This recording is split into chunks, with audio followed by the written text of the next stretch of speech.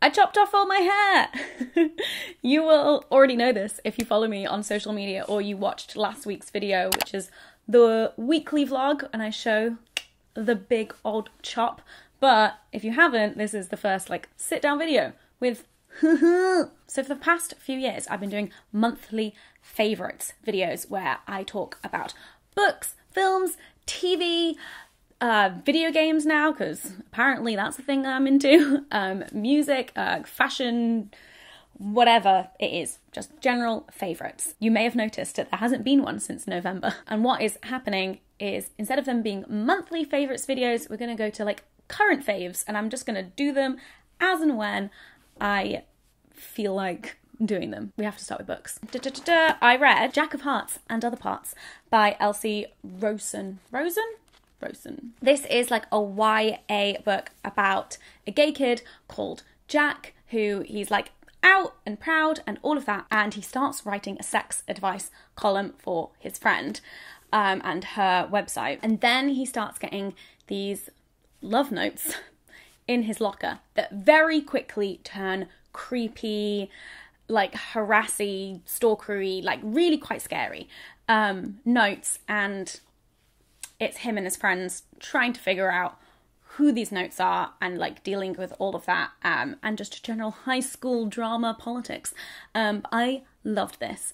Um, there is a lot of explicit sex in it, which I'm always happy to see in YA because I just think that we need to be honest about these things. And I think the real wide range of LGBT representation in this is amazing. So you don't just have Jack, the main character, who is gay. There's lots of other gay characters, queer characters, bisexual characters, and they and they all kind of like just have their own stuff going on. So yes, would recommend. A lot of people have been talking about this book since it came out. Eleanor Oliphant is completely fine by Gail Honeyman. And reading this reminded me that it's been a while since I've read like contemporary adult fiction. I enjoyed this to the extent that you can enjoy it because there are a lot of heavy topics in it. The thing for me that was interesting about this is you're in Eleanor's head, and she's just such a strange character. Like, um, she is not someone who you might know. Like, she's not someone who is necessarily relatable to a lot of people.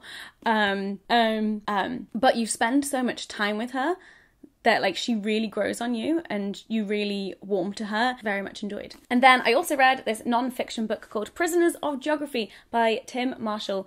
And the subtitle is 10 Maps That Tell You Everything You Need to Know About Global Politics. And that's what this book is. It's all about geopolitics.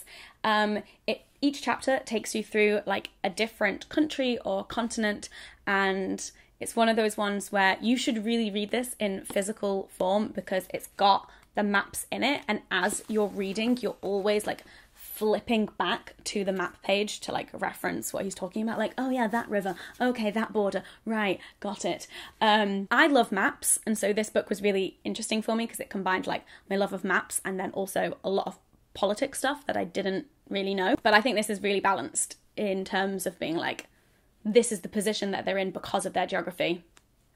And so it's like how can they work around that in their best national interest or whatever. Would recommend if you like maps and politics. And then, real quick, because I don't know if I've mentioned this in YouTube videos, but um, my book has come out in Dutch and German. I feel like I might have mentioned the Dutch one, but I recently got given the um, German edition copies as well. Like, look at this cover, it is amazing. Also, I'm not gonna try and pronounce the German title. If you live in the Netherlands or Germany, then you can get my book doing it in your language. There you go. Um, and of course, my second book, which is coming out 13th of June, The Hormone Diaries, is available for pre order now.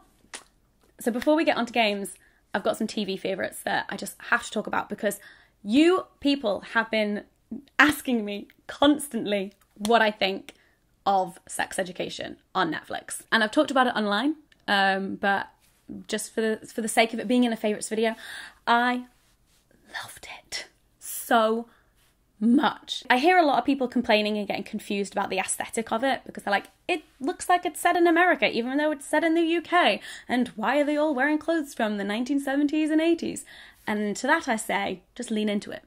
Don't resist it. Very stylized aesthetic, and actually, it is quite pleasing to the eye. And I understand why people are confused. They're like, it's in the UK, but why have they Americanized it? They've Americanized it because do you remember when the Americans tried to remake Skins and The Inbetweeners? Yeah, horribly wrong, and those were terrible shows, and they put a bad name to amazing shows like the original Skins and The Inbetweeners. And so my theory is that they have Americanized it slightly, so then the Americans are happy with it as it is and they won't try to remake it. Regardless, sex education, oh my god, if you haven't seen it already, what are you doing? It's just on Netflix. Like, just go watch it. But it's about this like 16 year old boy called Otis, and his mum is a sex therapist. Um, but Otis like has never masturbated, is kind of like grossed out by sex. But then because he kind of has learned all of this stuff from his mum, he then becomes his school's sex therapist, and all of these other teenagers are coming to him for advice. And oh my god, his advice is so good. like, I'm watching this, just going, wow, he is a better sex educator than I am. okay, video games. First of all, the PC that I've been playing most of these video games on.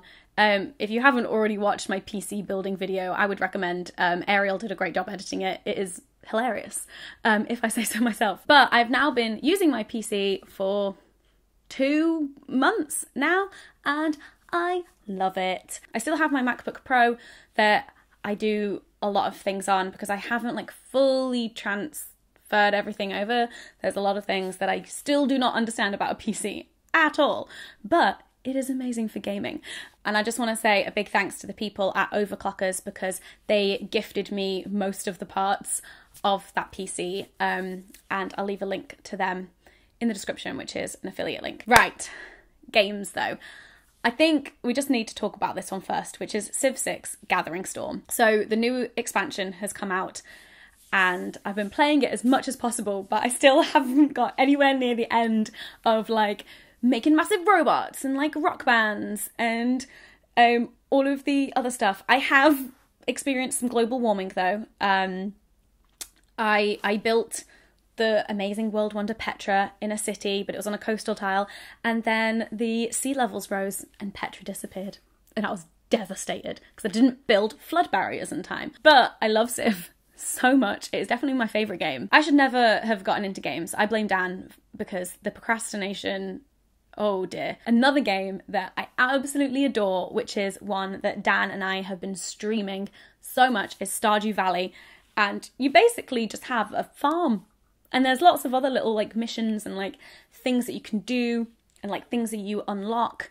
Um, but ultimately, you've got a farm, and that's the main bit that Dan does. Dan does all of the farming, and I do all of the other bits. Um, I love doing our streams of it, and I love the people that come to our stream and like get involved, get involved in the Han Dan farm. One of the things that Dan has done is um, at the Halloween like event, he basically bought loads of gravestones, and every time I've died in this game, he's like planted a gravestone in our farm, and I think there are currently like six gravestones or something. Yeah, for me. Dan has died once. I have died like six or seven times. But Dan spends most of his time farming, which isn't very dangerous, whereas I'm down the mines fighting monsters.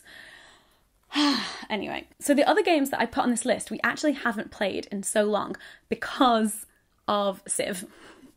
because of the new expansion that's come out and also because of streaming. But we played loads of Borderlands. It feels very Mad Maxy, but it's um, a lot more snow.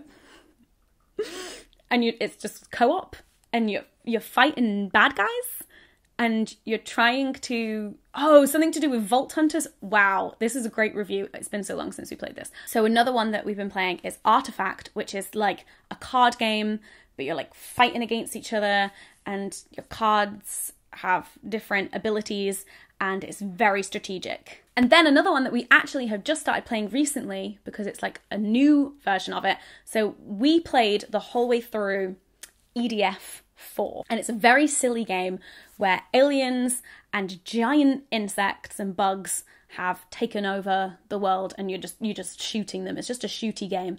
Um, but it's kind of funny and it's kind of tongue in cheek because it's just like giant ants and giant spiders. Um, anyway, EDF 5 has come out, and so we downloaded that on our PlayStation and we just started playing that and it's very exciting. There are new enemies in it.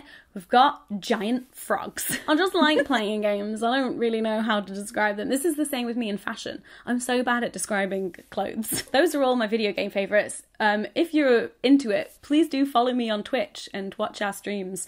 Um, I tend to like tweet or post on Insta stories when we go live because I have no schedule on there at all. Another favourite that I want to mention is that it was my birthday recently, and one of the things that I did was a Harry Potter film marathon. Oh boy. So, most of my friends stayed for films 1 to 5. We started at 1 pm, and my friends left about 1 am. And I was like, oh, I could go to bed and like carry on in the morning.